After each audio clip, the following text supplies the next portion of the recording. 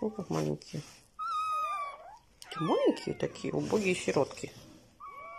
Худые, да, тощие, замученные, замерзшие.